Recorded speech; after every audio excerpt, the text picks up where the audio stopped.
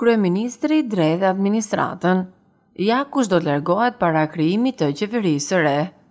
Kreu i qeverisë, Edi Rama, ka paralajmëruar përpara ekipit socialist se përpara krijimit të qeverisë së re do të spastrohen të gjithë ata që nuk kanë arritur objektivin dhe nuk kanë zbardhur faqen e kësaj partie. Këtë gjë kreu i socialistëve tha se do ta bëjë duke thirrur kongresin e jashtëzakonshëm më 12 qershor, ditë ku Partia Socialiste feston 30 vjetorin e saj. Shqipëria mund dhe duhet patjetër të ngjitet tek ajo majë brenda kësaj dekade, Ne do të nisim mbajtjen e premtimeve, që nga rritja e pagave deri në 400.000 lekë. Do kthejmë çdo shërbim në një ndërveprim online. Do ta pastrojmë deri në fund administratën nga njerëz që na kanë nxirë faqen.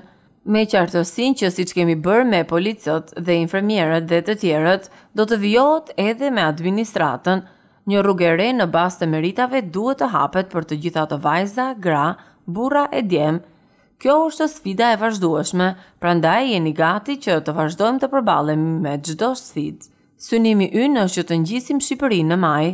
Shumë faleminderit të gjithë. Në mbyllje, fjalinë e fundit duke ju parë është se dua t'ju them, një pjesë e juaja janë sërish deputetë, një pjesë jo. Skuadra jonë ka fituar falë rolit të gjithsecilit prej jush. Ne duhet tani të bëjmë gjithçka që na takon për të merituar plotësisht atë që shqiptarët panë dhe votuan për numrin dymbëdhjetë, kështu më dymbëdhjetë qershor do ta kremtojmë, ka thënë Rama. Mos harroni të bëni subscribe në kanalin tonë në youtube jeto shëndetshëm.